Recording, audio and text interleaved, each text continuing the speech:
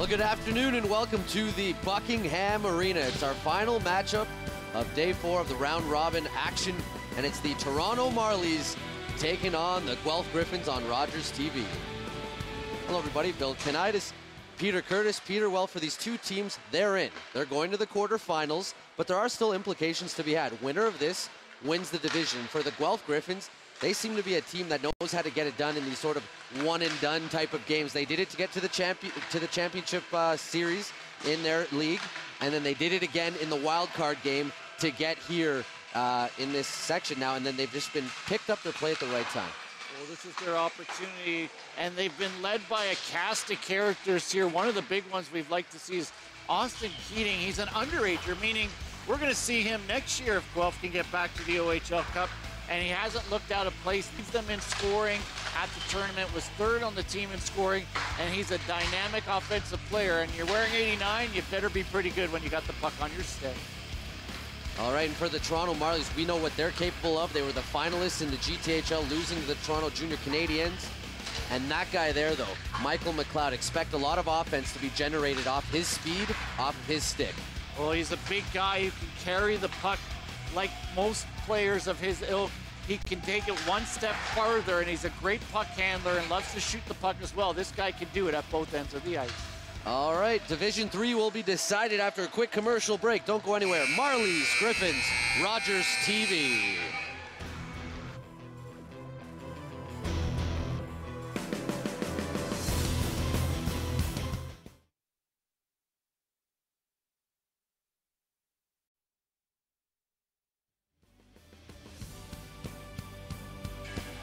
Welcome back to the Palace, and we're moments away from puck drop. We've got a lot to talk about throughout this broadcast. We have a lot of teams confirmed now to be headed to the quarterfinals. Still one spot left to be determined in Division 4. As you take a look at the Marlies getting ready, they look to be the only team, if they can get a win here, that would potentially be undefeated in the round robin portion of the OHL Cup. The Ottawa Junior 67s are currently bat battling the Junior Canadiens, so if they win, they would join them in that territory, but we'll have to wait and see. But for the Guelph Gryphons, I mean, you talk about a team who, they had a mediocre season. They finished sixth, and then in the OMHA, they made it to a winner in the playoffs. They led themselves to a winner-take-all to make the championship round where they would beat Brampton in a one-game playoff. They wouldn't make it out of the OMHA playoffs, unfortunately, if you're a fan of theirs, but then they come to the OHL Cup and then they win a big wild card game. So if you talk about pressure situations, this is a team that's putting it together at the right time of the year and getting the results. And they're into the quarterfinals based on how the tiebreakers would rule out. And right now, if they beat the Marlies, they could be the high seed in this division. So that gives you a game against a lower seed from another division in the final group of eight. And missing in action for the Gryphons, no Farrow, no Chatterson at the back end. And the Marlies as well have a few injuries to, that they are dealing with. Blaze and Wong are sidelined as as well. Blake Coffey not in the lineup either. So every team in this tournament has their fair share of injuries and scratches, just a part of the game. But both of these teams, as we mentioned, will be going to the quarterfinals, so they've figured out a way to play through it. One of the challenges that you have in a tournament like this is you come through a pretty tough playoff. It doesn't matter if it's the GTHL that went eight games in the final, or of course the OMHAs where you have your regionals and then what is essentially the championship tournament the weekend before the OHL Cup. And there was a shot stopped by Rabito, who gets the call. Casimir Kroll was in the net earlier today when the Toronto Marlies were victorious. That was a matchup against the Waterloo Wolves. A six to one victory. So the Marlies, as we mentioned, have been undefeated as Sikoli almost took a shoulder there at the center ice area. The, they beat the Admirals 3-1, the Elite Hockey Group 4-3, and the Waterloo Wolves 6-1 this morning. So Kroll was in the net at that time, but no slouch either. Justin Rabito gets the call, who during the regular season had 15 wins, three shutouts, and a sparkling 1.63 goals against average. Well, both teams going with their second goalie, but really a 1A kind of thing going at both ends as Rob Stacy makes his first big save of the game. And you need this depth. I mean, you saw with the Toronto Maple Leafs in their recent game against the LA Kings, needing some goaltending depth. And this is how the teams get to the OHL Cup final. If you're going to ride one goalie or a number one line or a big centerman, that's not enough to get the job done to qualify for a tournament with 20 of the best teams here from North America. Especially when you have the potential of two games in a single day, so you'd like to be able to throw both your keepers in there with confidence. And both of these teams possess that depth at the back end as that's thrown out in front, looking to bat that out of the air was Cody Knapp as Tomasetti comes out from behind his net and it's stopped at the point. And the Gryphons look to keep it going. And here comes McLeod. Here's our guy to watch. You don't want to give him too much speed over to Raddysh. He's got all kinds of space and he scores. Taylor Raddysh off a beautiful feed from Michael McLeod. And just like that, the Toronto Marlies have taken an early lead. And for Raddysh, give him eight points now in the tournament. Five for McLeod. And that puts Raddysh right up at the top of the list here. And you look at that replay, he made no mistake going forehand on that semi little mini breakaway, if you'd call it that. We'll talk about way too much time for two very skilled players. And remember, Raddysh was leading the GTHL regular season in points and just an overall great two-way player before he got injured, and he is now getting back into that game shape. He did come back in the playoffs, but you know it takes a little while to get over an injury, and it looks like he's there. There's a blast from O'Grady kicked out. You want to talk about two-way players. This line right now for the Marlies can score, but they play so well at both ends of the ice in Mizzy, Harrison, Pu. And Harrison Pu are two guys in the playoffs especially. We knew they were over point per game players in the regular season, what they're capable of. But in the playoffs and in that final against the junior Canadiens, we saw them elevate their game to a whole new level. Well, it just showed that the junior Canadiens, a lot of people like ourselves, thought it'd be a blowout in the finals, and the Marlies really stepped up made it a very competitive eight-game series. And in that 6-1 victory earlier, earlier today over the Wolves, Taylor Raddysh had three points, as did Maksimovich. McLeod had two. So those are, those are three of the big gunners in the GTHL. They were two, three, and four, respectively, in league scoring, a total combination, or combined rather, of 162 points between those three players. So offensively, those are the three to watch out for as Sickley looking for it. It's in his pants. So he'll have to hang on. But Raddysh is continuing his hot streak from earlier this morning. A lot of the action in the schedule. You can get it all on the Ontario Hockey League website. They've got an OHL Cup section. And if you're in the Toronto area, folks, the admission is not, there's no admission gate, so you can get into this building for free. Saturday, quarterfinals and semis, and of course the finals, Sunday, 1 o'clock, and that's all on Rogers TV. There's a wraparound opportunity. Nice job by Rabito to get the right pad up against the post and keep that one out. It's shot right back in by the Gryphons. And there's Duchesne, who will fire this one into the zone, and he'll head off for a change. A few call-ups as well for the Marlies. They've got Elijah Roberts, Quinn Hughes, and Duchesne as well, as you saw moments ago, fire that one into the zone. And Josh, Josh Chicha would be the lone call-up for the Guelph Gryphons. Now Hunter fires this one in. 1-0 lead off a goal by Taylor Raddysh. There's a two-on-one with Mike McLeod. They're out there right now alongside Maksimovich. You want to talk about a firing squad right there. Those three, as we mentioned, all the damage they did throughout the league. Here comes McLeod with a head of steam. Wins the brace for the puck. He still has it. Still has it on his stick. McLeod brings it out. Cross ice for Roberts. His shot gets through but goes wide. There's Tomasetti. Wraps it around down low. And Raddysh battles with a couple of Gryphons. McPherson. Maksimovich comes out with it, fires it wide. There's Knapp battling with a much bitter, bigger McLeod who finds Raddysh. He's got a lot of time to just, in that high slot, top of the circle, to turn around, set up shop, and get a shot off. There's another chance, Maksimovich. That one stopped also, and I believe a fortunate break perhaps for the Gryphons as the net came off. But that line for the Marlies just circling, and the Gryphons a little discombobulated, a term I like to use in their own end. Certainly the time of possession in this first five minutes and 11 seconds heavily favoring the Toronto Marlies. Rob Stacey's going to be very busy It's just surprising. Guelph was just kind of standing still like they were killing a penalty. We're trying to count. There were five red shirts out there, but they were not engaging the Toronto Marlies. It was just watching them skate around the perimeter. And it's cleared out now by the Gryphons. Who their journey to this stage, a little different from the Marlies as that backhander stopped. They had to win the wild card just to make it in, but they really upset some teams. 4-1 victory over the Waterloo Wolves, 5-2 loss to the elite team out of the U.S. and the Admirals they beat 2-1 as well. So I mean, you look at the Gryphons, they beat the Alliance champs and the OMHA finalists. Here's a chance the other way. That's stopped by Rabito. A nice quick reaction there. And Bunnaman, the power forward, left all alone. A great little pass. And Guelph being very opportunistic right here. Really the first quality scoring opportunity in six minutes of action. And the goaltender, Rabito, had to be very good.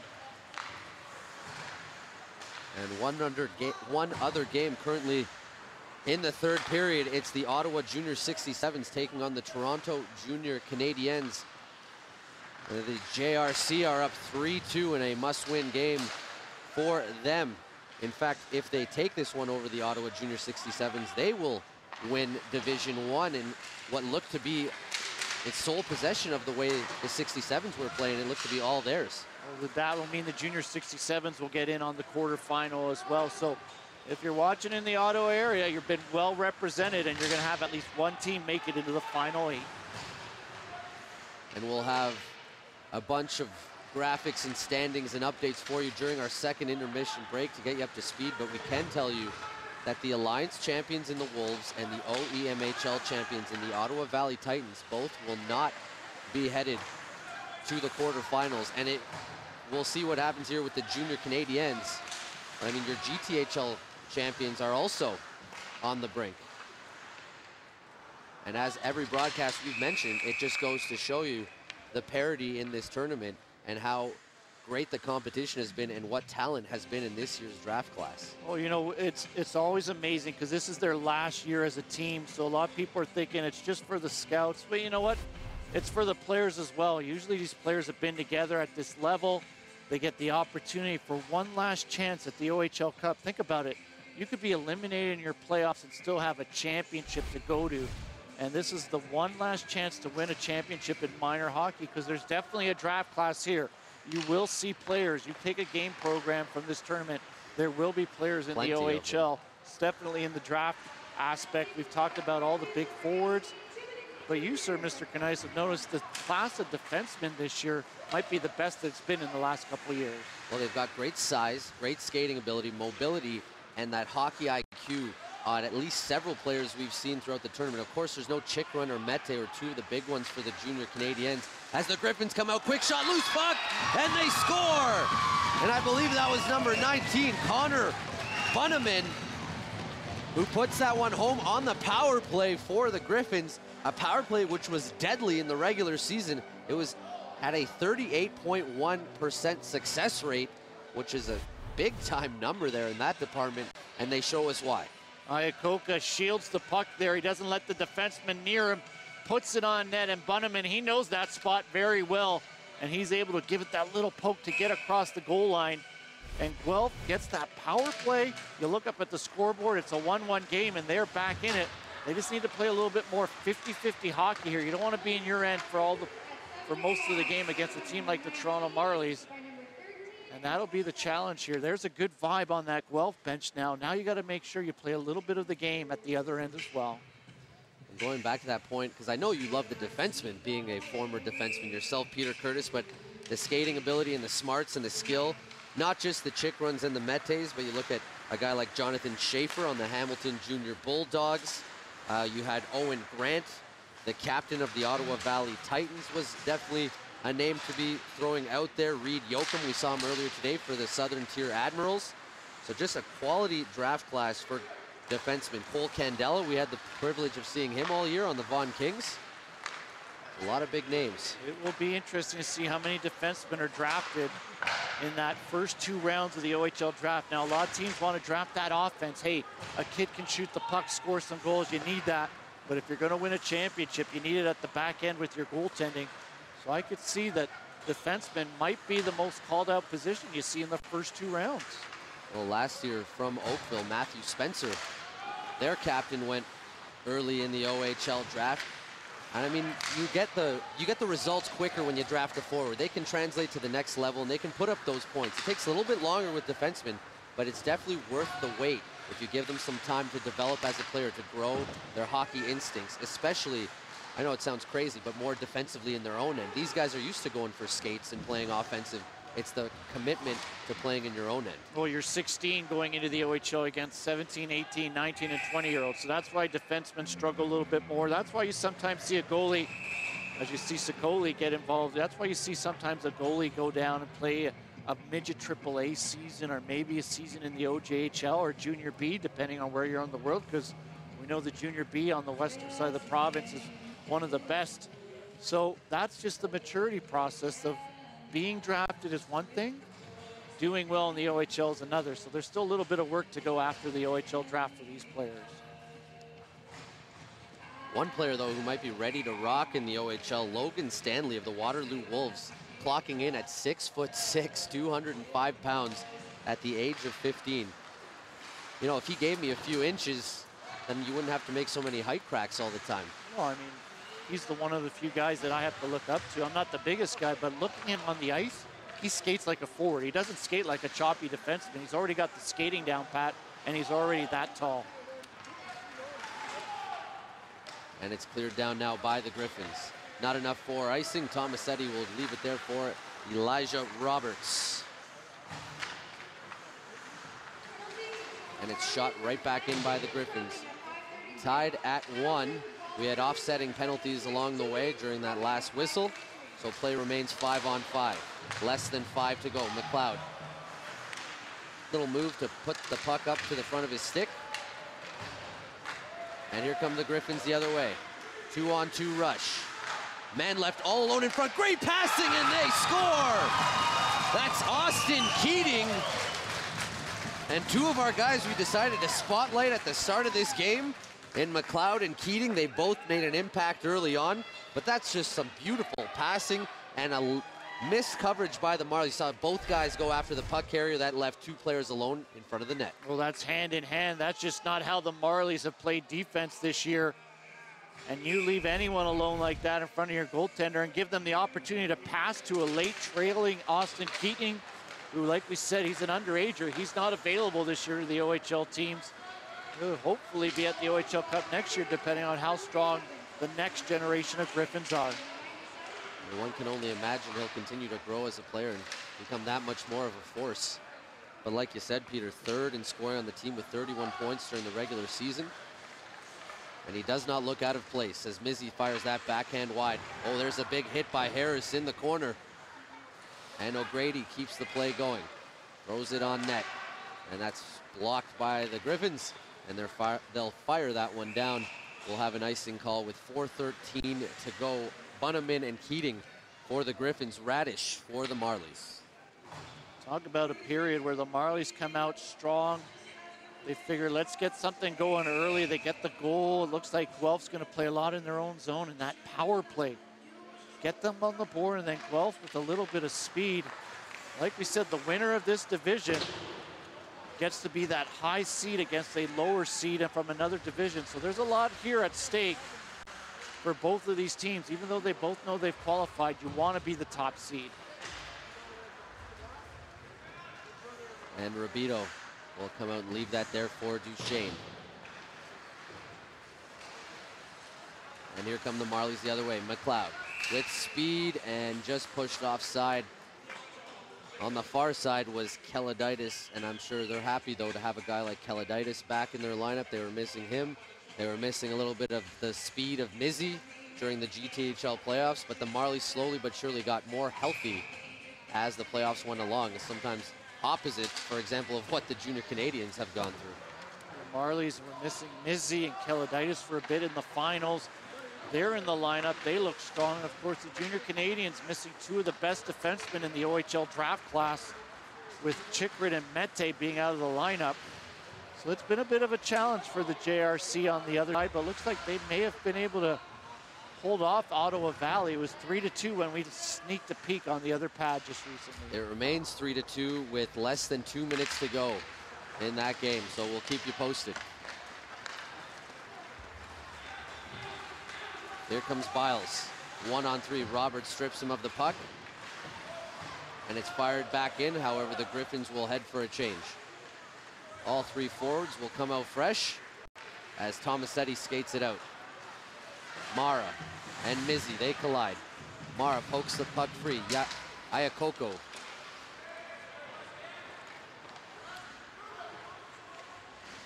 Oh, there's a hit. Harris is throwing his weight around. He just picked up his game in the GTHL playoffs, and he hasn't missed a beat here at the OHL Cup. And Mara is skating off gingerly right now after that hit from Harris, so we'll keep an eye on him. Sent back to the point. That would be Hughes who has it. Back to O'Grady. Shot gets through just wide. Ayakoko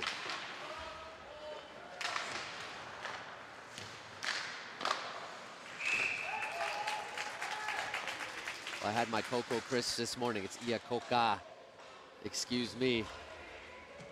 Well, for Guelph, they're finding a way in this period to just kind of fall into that passive defensive zone coverage. Take a look, folks. I mean, the Marlies aren't on a power play, and they're trying to work the puck down low. It looks like the Marlies have a chance to try and make this a three-on-three 3 battle below the face-off circles because Guelph's done a good job of keeping the points guarded. So really it's a battle between two defensemen and a centerman on Guelph versus the three forwards there for the Marlies. And play is whistled down. There will be a penalty eh, coming up, a trip in the corner. And I believe that dangerous Guelph Gryphons power play will get one more opportunity. They already struck their one for one. And this will be their second look as Sicoli heads to the box.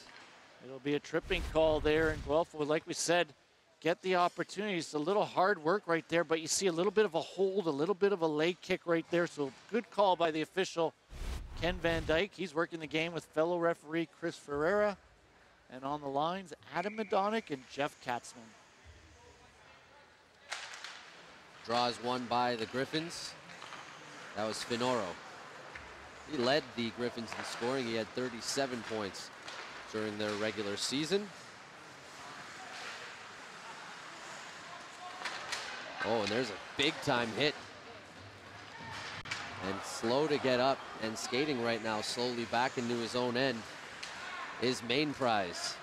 He was looking for the puck in the air. You can't fault him. He's on the power play, wants to get that puck, get it in movement. And he realized he's got to look up and look down every now and then as well. It's like a center fielder. You got to know where you're standing in the middle of the field. And he looks like he's still a little shaken up after that hit. Well, play continues. Power play has a minute 10 to go. Good read by Tomasetti in the neutral zone to send that right back into the Gryphons' end. Bunnaman.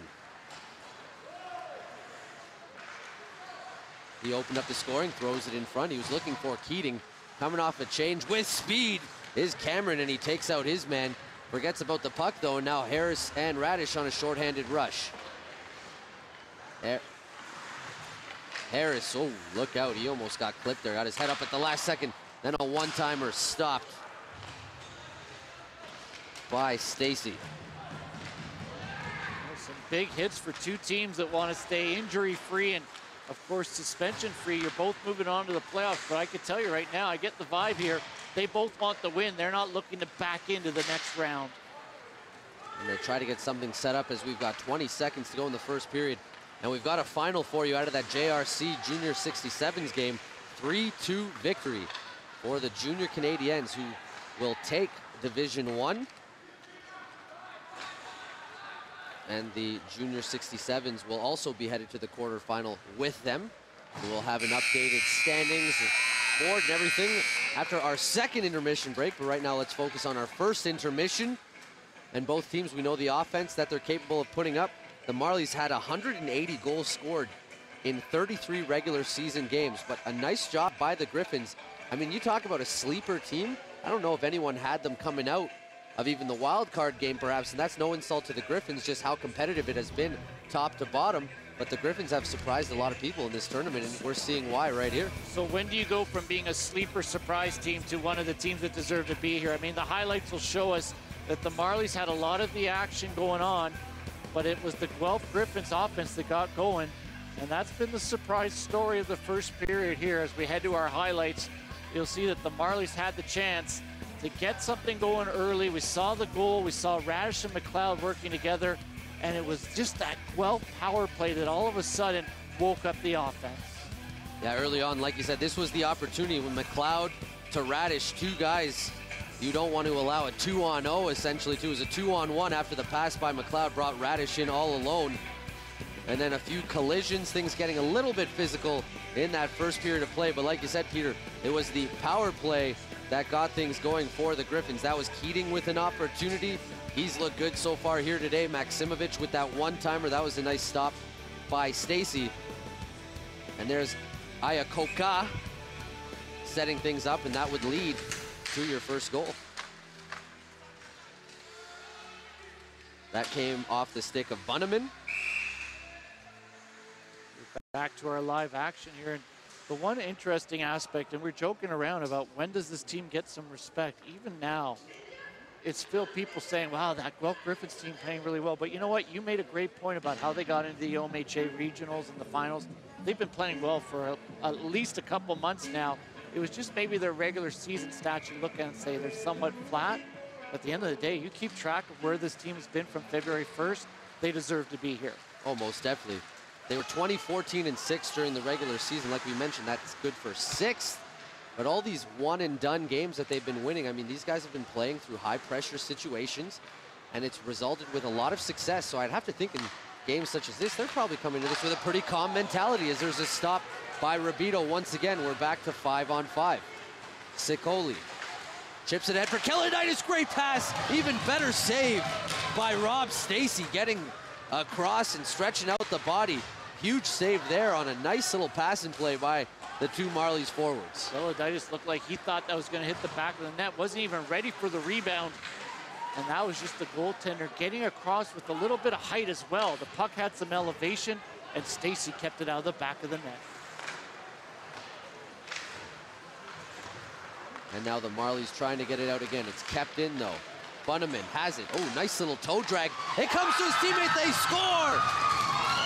Giordano Finoro with goal number three for the Gryphons. And we were talking about the Gryphons deserving a little bit of respect. Well, they're coming in right now and handing it to the Marlies early on. Three quick goals, and they've got the three to one lead now in the with 13:44 to go in the second period. That is just a great play by Bunnaman. Well, the puck doesn't get out, and Bunnaman, like we said, kind of refer to him as a power forward, but you've seen his puck distribution skills on this line. And you're right, partner. The Toronto Marlies are down three to one, and well, definitely deserving the two-goal lead just based on the offensive skill we've seen. And an offside. Oh, that would have had Maksimovich in a sniper's position right there in front of Stacy. Fortunately, if you're a fan of the Gryphons, an offside call. But the Gryphons, I don't think they should sit back here, slow down the pace at any given point because we know what the Marlies can do when it comes to scoring goals. And this one could easily be 3-3 in the blink of an eye. Well, this might be fun because the Marlies know they're going into the quarterfinals with this Guelph team. So they might just open it up here to try and get into the game. So we might be looking at one of those high-scoring affairs by two teams that definitely have the offense to have a little bit of fun here on Rogers TV. A little bit of fun. Nothing to lose per se. Both teams are going to the quarterfinals, but still they'd like to finish atop the division. And we'll get a power play now for the Toronto Marlies as there is a hold in the corner. I believe it's going to be an interference call to, it looks as though it'll be Keating. So we'll get to see the dangerous Marlies and their depth on forward and on, and on offense get to work now with an extra man out there. Coffey's not in the lineup. Of course, Blake Coffey, the son of Coach Paul Coffey. And for those who haven't seen him, he doesn't play like that. He's definitely got puck control skills, but he's a bruising, tough-nosed defenseman who also happens to play on the power play. So this will be the challenge for the Marlies power play as they've got Duchesne here with the puck as the Bantam call-up getting some prime power play opportunity. And for Blake Coffey as well, he does a nice job of when he's quarterbacking at the point, he gets the shot off. There's a look at his the head coach, Paul Coffey, his father. He gets those slap shots off and he keeps them low. They're very tippable always, and they always Safe kick shots. out big rebounds. Absolutely safe shots that forwards have no problem standing in front of the net. They know that there's going to be a shot that gets around the point person because that's important. You don't want it blocked, and then something that can get to the net. And Blake Coffey, is there's a shot by Duchesne, big rebound. Raddysh has it. There, it's back out to Duchesne again, over to Cairns. And Coffey may not put up as many points as his father, but he scored some timely goals in the GTHL playoffs. Especially when the Marlies looked to be in trouble against the Mississauga Senators in their second round. There was a last minute goal by Blake Coffey that tied up a game. And That really could have been a series difference maker as McLeod's shot gets deflected and goes up high. A nice job playing the body there by Ayakoka. And now Raddysh has it. Back for Cairns. Cairns spent some time playing forward. There's a shot by Duchesne. Looking for it is Stacy, and he finds it before the Marlies do. Cairns back there. He played some time at forward, so it's almost like you have four forwards. He did a respectable job filling in when there were some injuries, but you know where they like to have him. They're more confident, of course, having him as a defenseman. And that was a good decision. He had Duchesne open with the lane, and the big, big thing you see in hockey this day at every level is the point men come out to block those shots, and defensemen who want to just blast away, they run the risk of having it bounce off the shin pads and end up in a breakaway, especially when they're on a power play. There's a shot, loose puck, Pu puts it home.